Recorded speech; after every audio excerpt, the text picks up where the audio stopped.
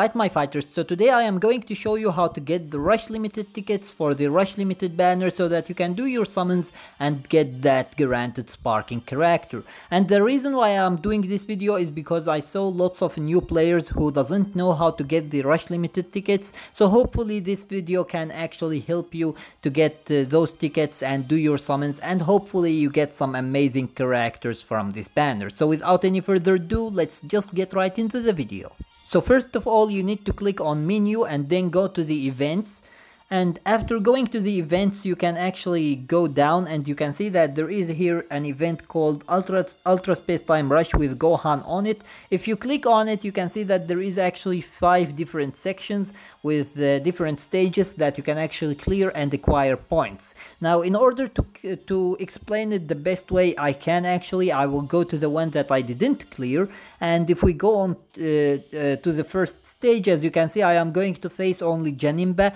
and in order to clear it the best way possible and get the uh, the most amount of points that you can get from the stage which is actually 200 uh, points you go to details here and then you go to challenge. And as you can see the challenge in this stage is actually to to use a green element character uh, so that you can act to clear the uh, stage with the green element character uh, in the team so that you can get actually both 200 chrono crystals. Because only clearing the stage is going to give you 100 and then clearing it with one green character is going to give you actually 200 and don't forget that you can clear the stage only once so the, so you can't actually clear it first uh, without the green and then return and clear it with the green because otherwise you will have actually to to uh, to replay the whole the whole uh, section of stages and this is going to be really crazy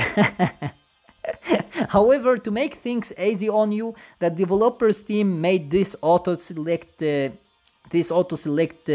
uh, choice where you can actually just click on it and just click edit. And there you go. You have actually the green character here uh, which is actually the baby Vegeta and you have other characters as well to help you during the uh, stage. Now be careful if you are a new player you, you will most likely not have enough characters actually to uh, clear the whole stage if you use 6 characters uh, per stage because every character that you use will actually be gone and you won't be able to use it again so it's, it's going to be actually 10, 10 times better if you just take off those so that you don't actually use them during the match and use only the other characters or if you have good enough characters actually you would be able to do it actually with two characters as well. It would be very useful for you because now you have lots of characters to save for the harder stages so that you can actually clear the whole section. And yeah basically pretty this is pretty much everything. If we go now to the uh, rewards here uh, you can see actually